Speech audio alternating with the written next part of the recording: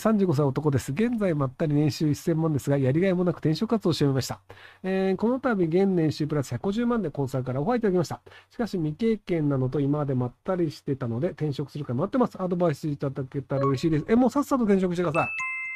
あの、結局35ぐらいで、そっからあの転職すると給料下がるのが割と普通になっちゃうんですよね。まあ、よほど優秀な人は別なんですけど。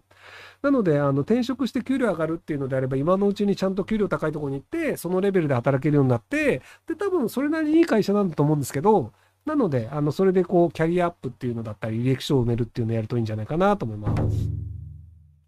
というわけで、お疲れ様でした。